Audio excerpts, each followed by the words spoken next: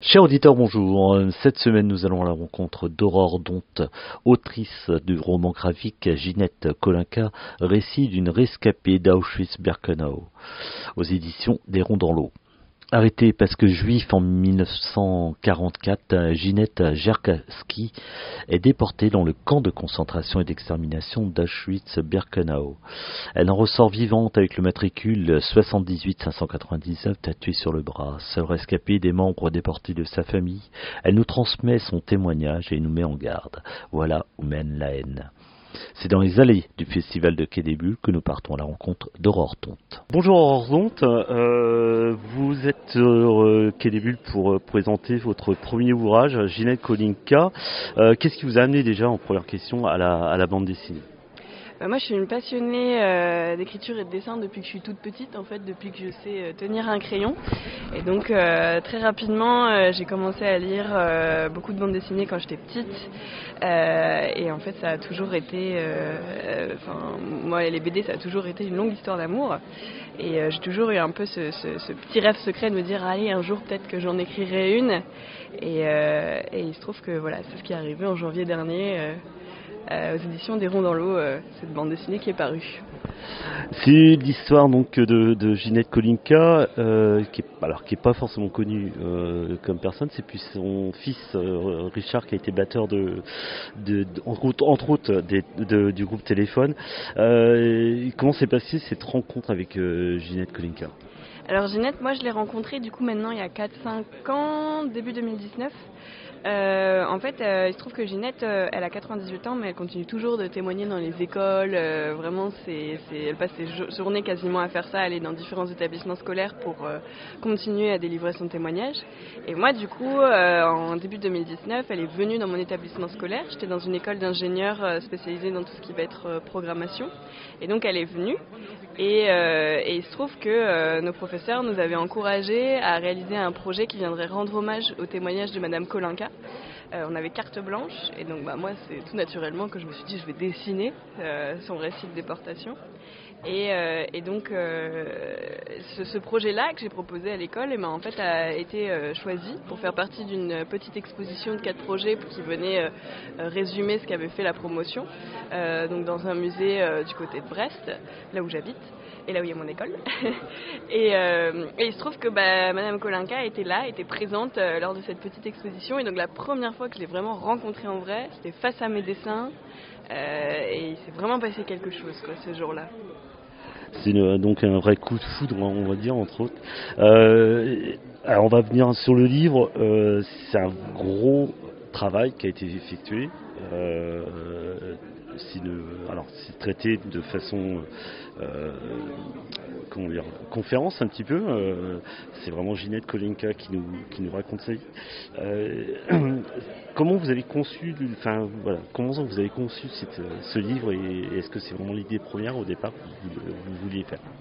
Euh, oui, c'est ça. Ben, moi, en fait, euh, il se trouve que euh, après euh, cette exposition, donc Ginette est vraiment venue témoigner dans mon école. Je crois que c'était le lendemain.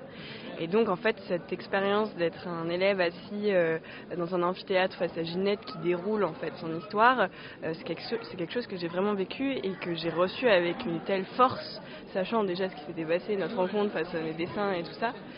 Et, je me suis dit, mais en fait, il n'y a pas, rien que ça, ça suffit, c'est déjà d'une force et d'une violence euh, en, en, lui tout seul que euh, j'ai pas envie de commencer à me dire ok, je vais raconter son récit d'une autre manière en commençant par ci ou commençant par ça.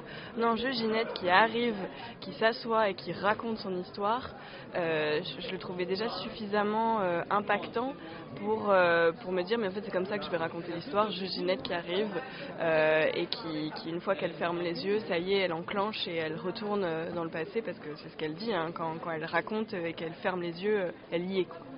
Et, euh, et, en fait, euh, bah, c'est tout naturellement que je me suis dit, euh, déjà suffisamment puissant à lui tout seul pour, pour pas que je me permette de, de, commencer à me dire non, je vais raconter comme ci, comme ça, comme ça.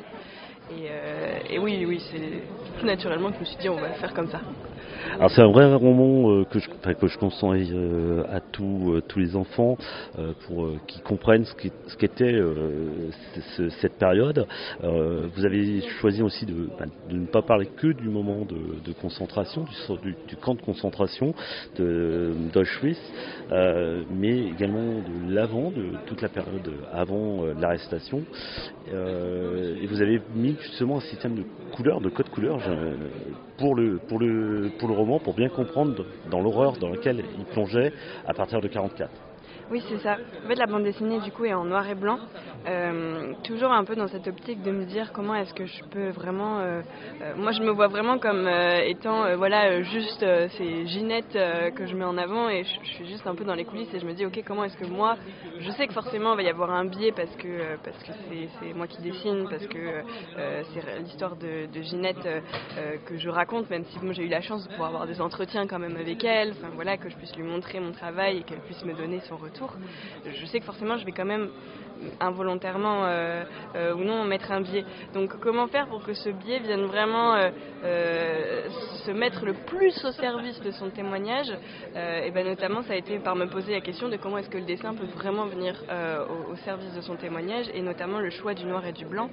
C'est surtout par rapport au fait que Ginette quand elle parle, quand elle raconte son témoignage, elle va pas avoir peur des mots, elle va pas passer par quatre chemins, elle va être très franche, très directe et, et ce côté très brut de pomme, très tranché je voulais que ça se ressente dans le dessin. Et donc cette, ce, noir et ce blanc qui amène ce, côté très tranché à un dessin très rond, je trouvais que en fait ça venait vraiment euh, servir le propos et le souligner.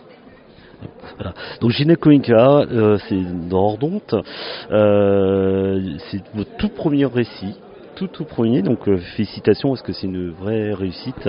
Euh, et puis pour finir, on va terminer aussi parce que sur la fin du livre, euh, sans spoiler, hein, il n'y a pas de spoil à, avoir sur ce livre-là, vous avez également voulu apporter une petite documentation supplémentaire. C'était important pour vous aussi de clôturer ce livre avec cette documentation. Alors ça, ça a plus été une discussion avec euh, Marie, du coup, mon éditrice. Euh, moi, de base, la bande dessinée, c'était vraiment que l'histoire de Ginette. Mais parce que, en fait, euh, moi, je me suis lancée dans le projet, j'avais 19 ans. et c'est vraiment Ginette qui m'a attrapée. C'est maintenant plus après la publication de la bande dessinée que j'ai tendance à prendre du recul et de me dire, ah, ok, je vois dans quoi ça s'inscrit. Et donc, du coup, spontanément, quand, la bande dessinée a été acceptée par Des Ronds dans l'eau, Marie, qui peut-être déjà avait plus de recul, voyait dans quoi ça s'inscrivait. Et puis, voyait aussi le potentiel que, enfin, il y a beaucoup de professeurs qui utilisent euh, cette bande dessinée en classe et tout ça, et donc c'est toujours intéressant pour eux d'avoir un petit euh, livret documentaire à la fin pour euh, qu'ils puissent s'appuyer, pour que même les élèves puissent comprendre. Et donc du coup, c'est plutôt elle qui m'a encouragée à faire un petit livret de fin pour vraiment venir compléter en fait le, témoignage de Ginette. C'était Rencontre avec Ordonte pour son livre Ginette Kolinka, récit d'une rescapée d'Auschwitz-Birkenau chez Déron dans l'eau. Nous nous quittons avec Jean-Jacques Coleman et son titre Comme toi.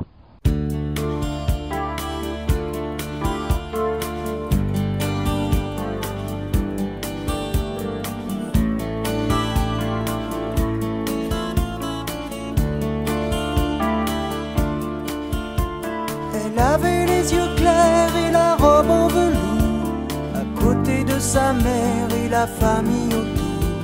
Elle pose un peu distraite au doux soleil de la fin du jour. La photo n'est pas bonne, mais l'on peut y voir le bonheur en personne et la douceur d'un soir. Elle aimait la musique, surtout Schumann et puis Mozart. Comme toi, comme toi, comme toi, comme toi. Comme toi, comme toi, comme toi, comme toi. Comme toi que je regarde tout bas. Comme toi qui dort en rêvant à quoi? Comme toi, comme toi, comme toi, comme toi. Elle allait à l'école au village d'en bas Elle apprenait les livres, elle apprenait les lois. Elle chantait les grenouilles et les princesses qui dorment au bois sa poupée, elle aimait ses amis, surtout Ruth et Anna, et surtout Jérémie. Et ils se marieraient un jour, peut-être à Varsovie. Comme toi, comme toi, comme toi, comme toi. comme toi, comme toi, comme toi, comme toi. Comme toi que je regarde tout bas, comme toi qui dort rêvant à quoi, comme toi, comme toi, comme toi, comme toi.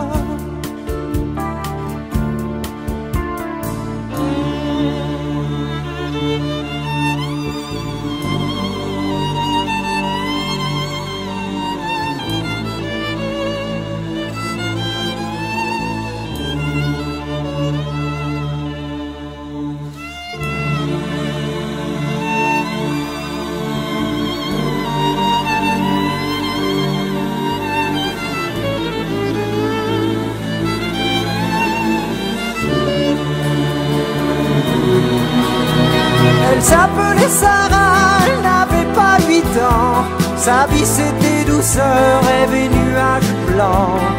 D'autres gens n'avaient décidé autrement. Elle avait tes yeux clairs et elle avait ton âge. C'était une petite fille sans histoire et très sage. Mais elle n'est pas née comme toi ici et maintenant.